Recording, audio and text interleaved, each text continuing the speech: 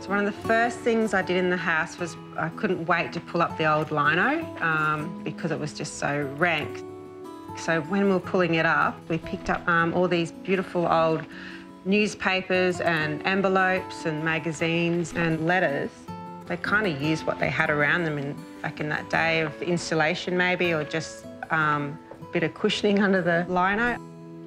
So look at this here. It doesn't even, it's just got the name Lindenmayer and Binjour. Look at these envelopes, like the stamps, you know, just all that sort of thing. They're not like that anymore. And Lindenmayer. I don't know, could be German. Who knows? We've got a little caption here in this part of the newspaper, which I saw before. The Binjour Plateau. So Mr Lindenmayer was going in for the election for the um, dairy industry. So maybe they did have a little bit of money because the, the house was actually on a, over 400 acres of land. So I don't know. Maybe they were up there a little bit. Hopefully one day, you know, I can take a shot and show the Lindenmayers what we've actually done with their house, if, if, if it is their house. The old envelopes have piqued Mel's interest, so she's heading two and a half hours northwest to Binjour to meet a couple who know a thing or two about her old Queenslander. Um, driving into Binjour is usually just, uh, you know, if you blink, you miss it because it is a bit of a ghost town. Oh, what's in this tin? Stanley and Hilda Opperman have lived in Binjour for 76 years and own this marvellous museum piece of a corner store.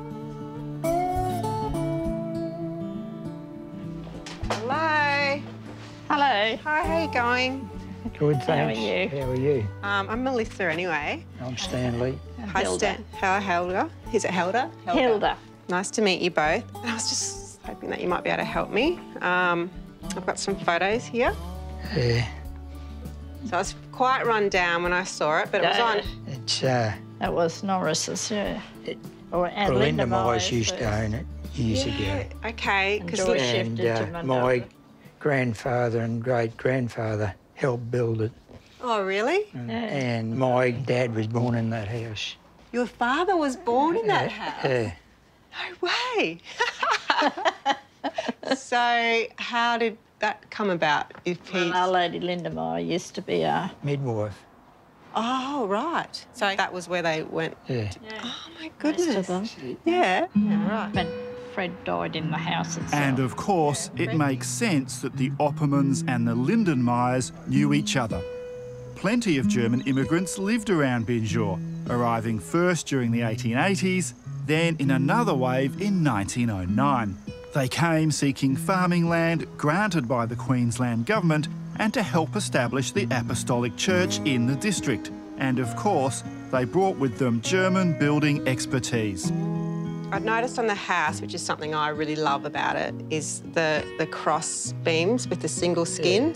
Is that something that, you know, with the German? It helps stay the walls and uh, it's a bit more to nail the boards to. Yeah, because there's not much, is there? No. Um, and then they, if they could afford it later on, they lined them. they would line them. And the roof, the main roof is always steep because that's how it was built in Germany. So the snow didn't Ah, stay on it. right, because there is a quite a big cavity actually up in the in the ceiling. But yeah, we've just been finding a few papers and a little bit of you know, this and that, and oh, it's so good that you can help me out. I'd say Mel struck restoration gold.